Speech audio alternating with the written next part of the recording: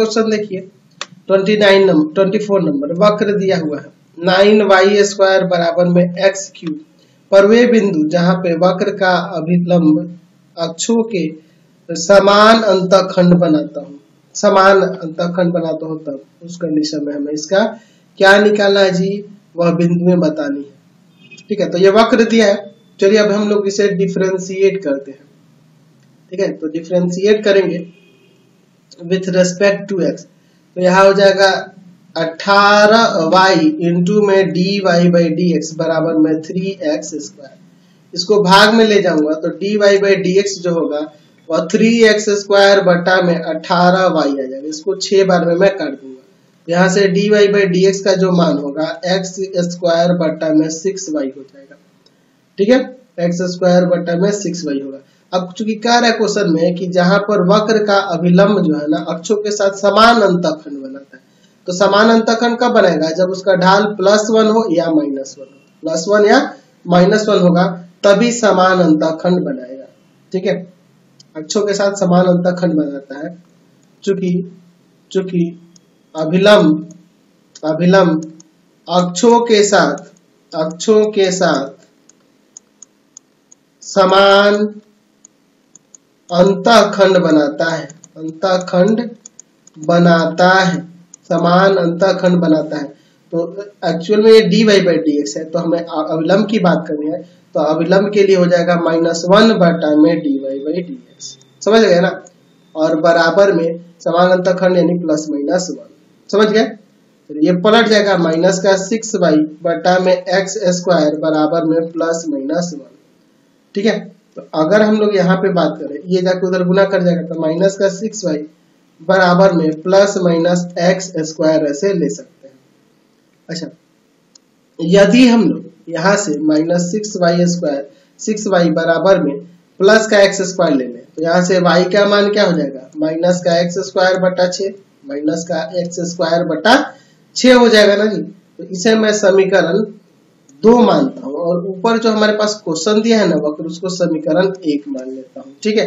और समीकरण एक में इस y का मान रख देता हूँ, समीकरण एक से, समीकरण एक से, ठीक है? समीकरण एक आपका है क्या?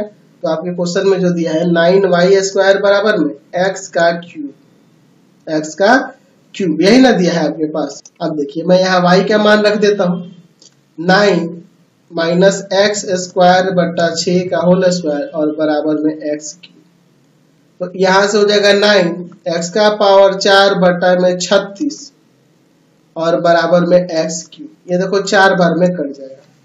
उसे एक्स क्यूब के साथ ये चार को ले जाए गुना कर देता है, उसको भाग में लगता है। एक्स का पावर चार बटा एक्स क्यूब और बराबर में यहाँ पे चार हो जाएगा। समझ गए ना? चार हो जाएगा।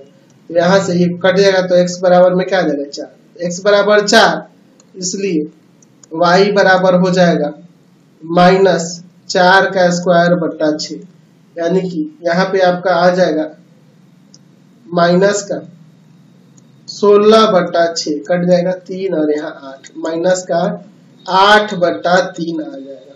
ठीक है?